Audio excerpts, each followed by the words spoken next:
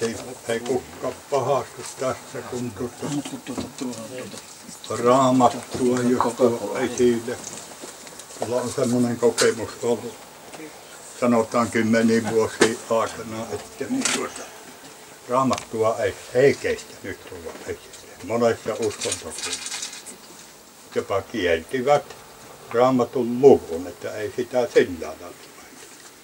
Tämä minua ihmetytti aikoina. Ja tuota,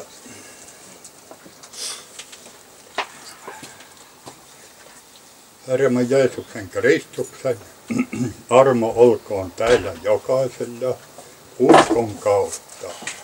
Ja mitä usko on? Eikä usko ole niin kuin apostoli Paavali määrittelee elämän ojentautuminen sen mukaan, joka ei näy. Ja Jeesus sanoo tuomaan evankeliumista, kun hänen oppilansa kysyivät, milloin valtakunta tulee.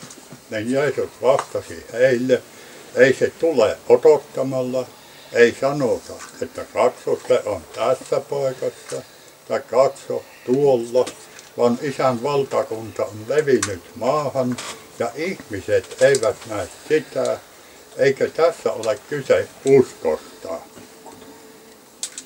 Ja usko on tarjolla myös pakana kansoille, niin kuin apostolien teon, teot 10 luvussa Pietari sanoo 34 ja 35 jakeessa.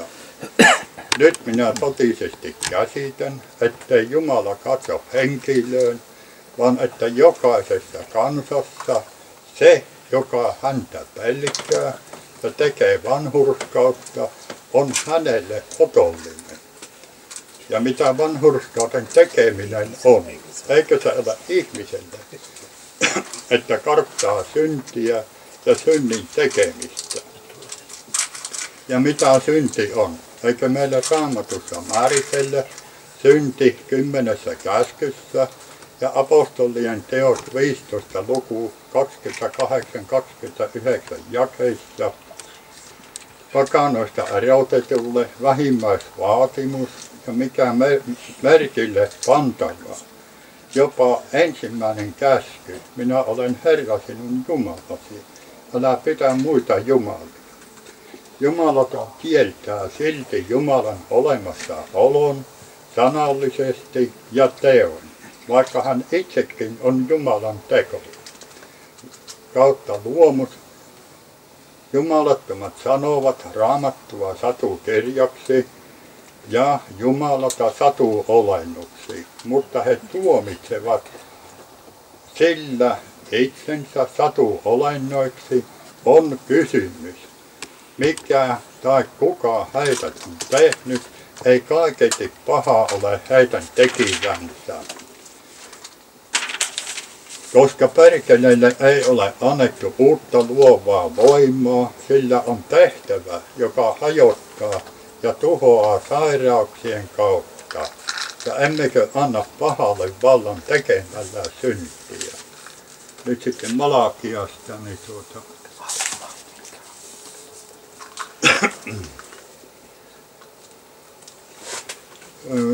tämä on kolme lukua ja viidennestä jakkeesta eteenpäin. Ja minä lähestyn teitä pitäkseni tuomion ja tulen kiirusti todistajaksi velhoja, aviorikkoja, äärinvannojia vastaan. Ja niitä vastaan, jotka sortavat palkkalaista palkan maksusta, leskeä ja orpoa, vääntävät vääräksi muukalaisen asian. Eivätkä pelkää minua, sanoo Herra Seeto. Sillä minä, Herra, en muutu, että ettekä te, Jaakobin lapset, herkiä. Isienne päivistä asti te olette poikenneet minun käskyistäni, ettekä noudata niitä. Kääntykää minun tyköni, niin minä käännyn teidän tykönne, sanoo Herra Seeto. Mutta te sanotte, missä asiassa meidän on käännyttävä. Riistäkö ihminen Jumalalta? Te kuitenkin riistätte minulta, mutta te sanotte, missä asiassa me sinulta riistämme kymmenyksistä ja antimista. te olette kirjauksella kirjoitus, kun te, kun te koko kansa riistätte minulta. Tuokaa täytet kymmenykset varastohuoneeseen, että minun huoneessani olisi ravintoa, ja siten koitelkaa minua, sanoo Herra Seekko. Totisesti minä avaan teille taivaan akkunat ja vuototan teille siunasta ylenpalttisesti.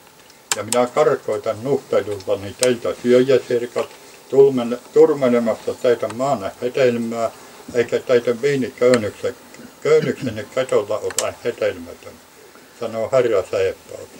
Ja teidän onneana kiittävät kaikki pakanat. Sillä te tulette olemaan ihasteltu maa, sanoo Herra Seeppaus. Ylseät ovat teidän puheenne minua vastaan, sanoo Herra, mutta te sanotte, mitä me olemme puhuneet sinua vastaan.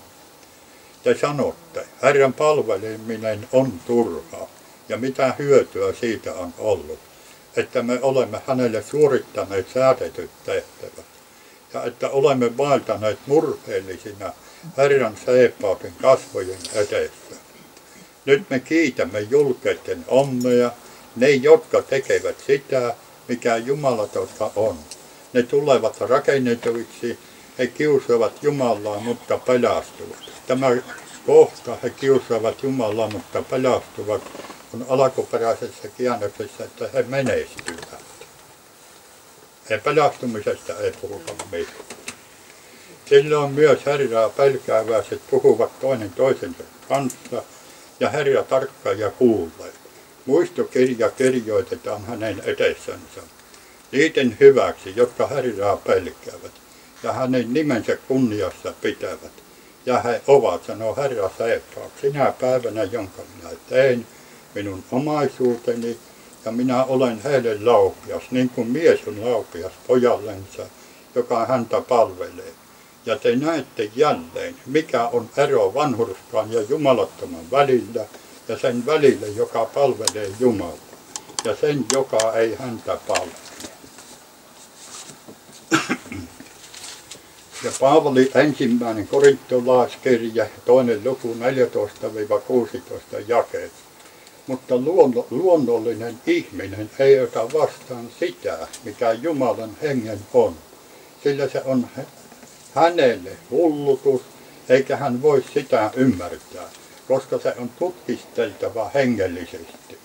Hengellinen ihminen sitä vastoin tutkiskelee kaiken, mutta häntä itseään ei kukaan kykene tutkiskelemaan. Sillä kuka on tullut tuntemaan Herran mielen niin, että voisi neuvoa häntä, mutta meillä on Kristuksen mieli. Aamen.